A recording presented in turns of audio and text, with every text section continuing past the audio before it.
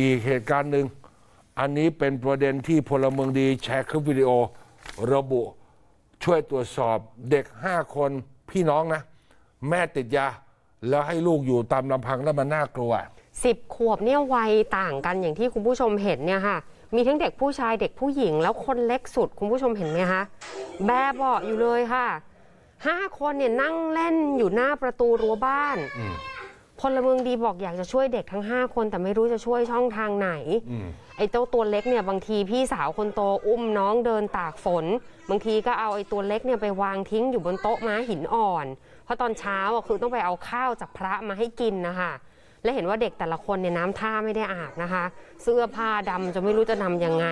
แล้วคนที่โพสต์นี่ระบุว่ายังไง แม่เด็กติดยา ส่วนพ่อเด็กเนี่ยไม่อยู่ไปทำงานรับเหมาที่ต่างจังหวัดค่ะ บอกพิกัดเอาไว้ด้วยว่าซอยสุขสวัสดิ์สองนะคะ ท่านผู้ชม